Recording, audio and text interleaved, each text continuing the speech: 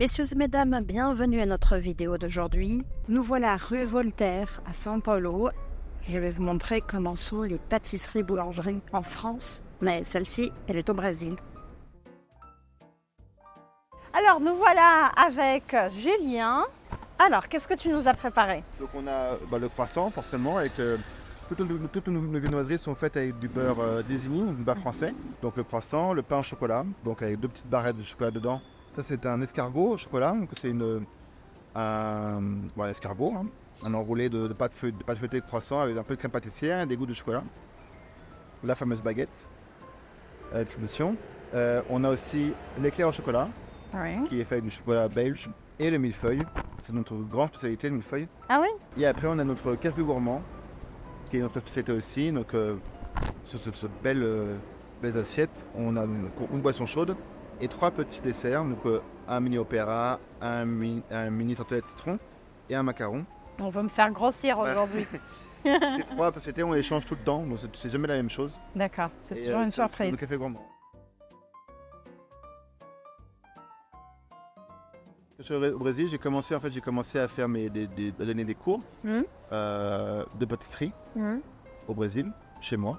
Après, j'ai pris des, je commençais à avoir un peu de clients et à, à faire des gâteaux un peu euh, à la demande. Donc du coup, j'ai commencé à faire plein de des gâteaux pour des événements, pour des, pour des entreprises, pour des anniversaires, pour des fêtes. Et du coup, après, je me suis, euh, j'ai loué un petit, euh, un petit espace euh, Mhm. à Bella Vista. L'idée, moi, de la pâtisserie ici, tout, tout ce que j'ai fait dans la pâtisserie, c'est d'avoir vraiment une pâtisserie traditionnelle française. Qu'un Français qui rentre dans la boutique, il va se retrouver en France et dire Oh, ça, Tout à ça, fait. ça, c'est vraiment quelque chose. Je sais que j'ai traversé la ville parce que pour moi, c'est pas seulement les produits, bien sûr les produits, mais c'est aussi l'aspect visuel en fait. Je dis toujours à mon mari, mais ici, c'est, on se croirait en France avec la vitrine comme ça. Est-ce que tu pourrais expliquer quelle est la différence entre boulanger-pâtissier Bah, le boulanger, c'est celui qui fait le pain, en général, donc les, les- les gros pains, les baguettes, euh, un peu de viennoiserie aussi. Généralement, il y, a- y y une dispute entre les boulangers et les pâtissiers qui, doivent faire le- la, la viennoiserie. Mais le boulanger fait la viennoiserie aussi. Et le pâtissier, tout ce qui est gâteau, euh, Tartelettes. petits fours, euh, tout ce qui est euh, viennoiserie aussi. Pourquoi les baguettes françaises sont tellement connues? Alors, parce que euh, la recette, elle est plutôt simple au final, c'est de la farine, du su- de la farine, du sel, de l'eau et de la levure. ou du levain, ça dépend de comment on fait. Mais en fait, elle a, elle, est- elle a une technique très particulière. Par exemple, cette baguette qu'on appelle baguette tradition, elle est faite au minimum en 8 heures. Le temps de pétri- pétrissage, de repos, de fermentation et de façonnage, de cuisson. Il y a entre 8 heures qui, qui- qui- qui se passent, au minimum. C'est la législation qui veut ça, minimum 8 heures. Celle-là, elle doit au moins avoir 24 heures de fermentation. 24 heures Ouais. En fait, la pâte Et pourquoi? Parce que c'est, ça qui va faire la croûte. C'est ça euh, qui fait la croûte, la croûte, ça qui fait qu'elle elle- elle se digère bien. Parce que le gluten il est bien fermenté. Et il y, a le- il y a la croûte, il y a le croquant, il y a la couleur. euh, tout ça fait le goût aussi. Euh, la fermentation donne le goût de la baguette. Et surtout la, la conservation. mhm. Un, pa- un pain français, les petits pains français qu'on a au Brésil, ils sont faits en quelques heures, en 2-3 heures même pas. Et le lendemain, ils sont Et déjà horribles. Dans 4 heures après, ils sont déjà euh, secs. Et, voilà. Et alors, ça t'a fait rire quand tu as découvert que ce pain s'appelait le pain français? Et tous les Brésiliens qui me demandent Mais euh, comment ça s'appelle le pain français en France? Oui, et euh, ça n'existe pas. Ça existe pas, voilà. Qu'est-ce qui fait un bon croissant? Alors, il y a beaucoup de choses qui fait bon, le, le bon croissant, le feuilletage particulièrement euh, du croissant, on voit, on voit bien qu'il est, bien feuilleté, euh, et le beurre.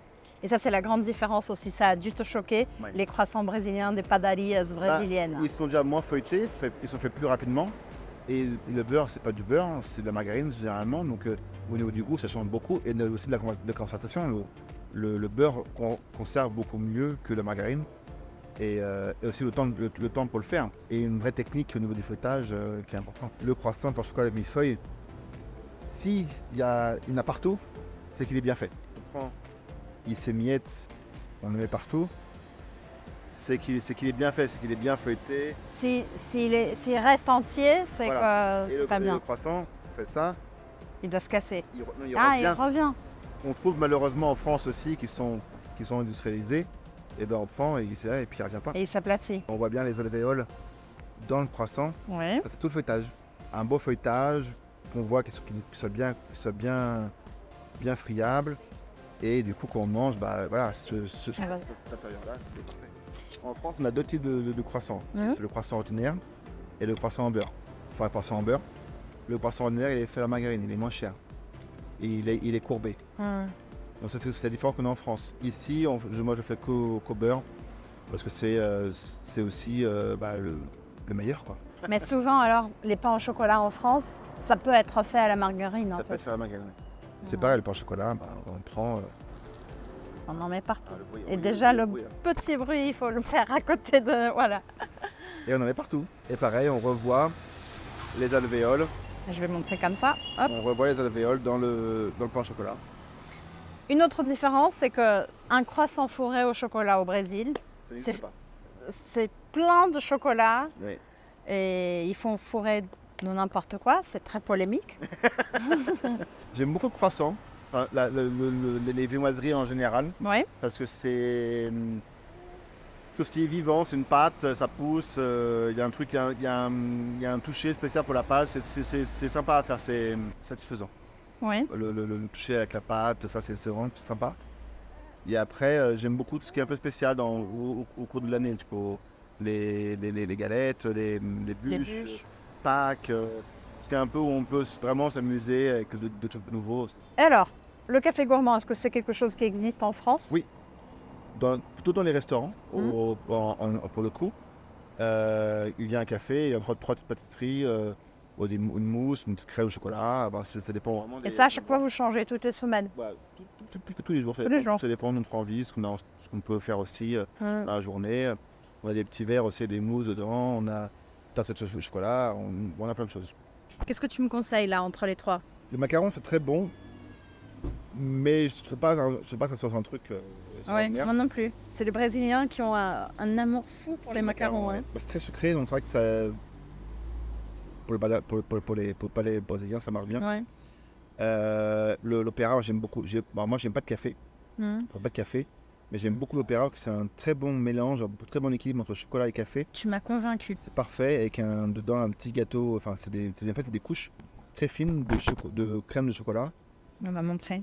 Crème de café et gâteau euh, aux amandes. Je vais le manger. Moi, j'adore la, la- la tarte citron parce que la tarte citron, on l'a fait avec de la, de crème au citron. Mhm. Avec le citron que nous, on presse ici. Il est fort en, en citron. Mhm. Bon, il- est, il est acide.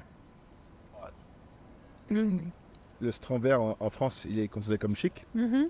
parce qu'on n'en a pas en France. Il est ici, très- le est cher, il est, il est vendu de la pièce. Dans les supermarchés, c'est toujours écrit Brésil. Tout pas beau, tout sec, Mhm.